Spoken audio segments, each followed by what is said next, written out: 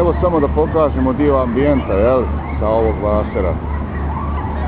Šta se dešava? Da poka... Isto je to kao nekada naš vašer dervenski koji je sada ponovno obnovljen. Evo pogledajte.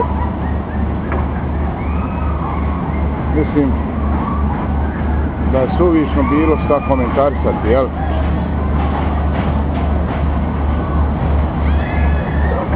Za svakoga ponešto ima ovdje. Evo lutam ovim vašerom i posjeća me na našu drvenču. Evo pogledajte. Pogledajte.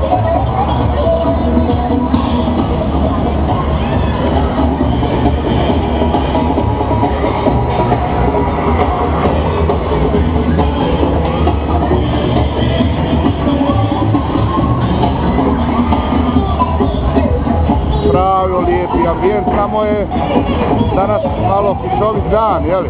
Ali ništa ne smeta nama i drvenčanima, jel? Bitno je da se sve vrti i sve kreće, jeli?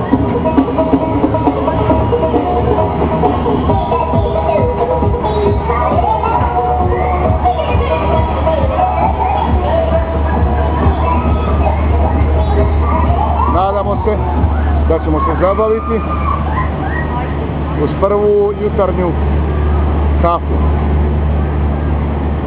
Vidite, tu je mnogo, mnogo, mnogo je svijeta, jel?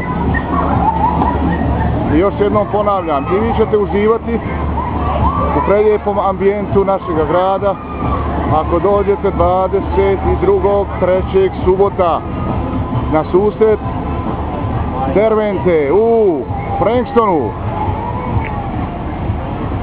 Mislim,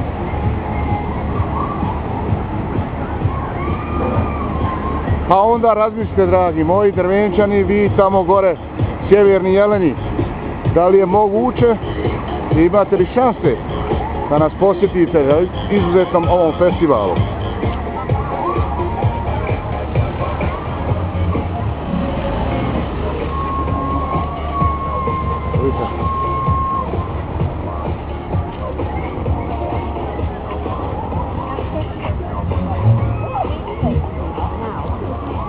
Jede se, pije se.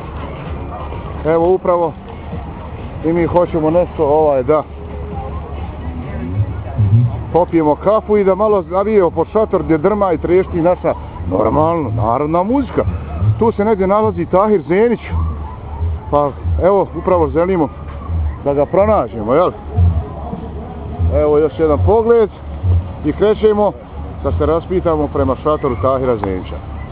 Za sad dragi moji drvenčani, još ja se jednom posjećam, čekamo vas 22.3. na susret drvente u zemlji Kengura, Australija, Melbourne, Frankston. Doviđenja!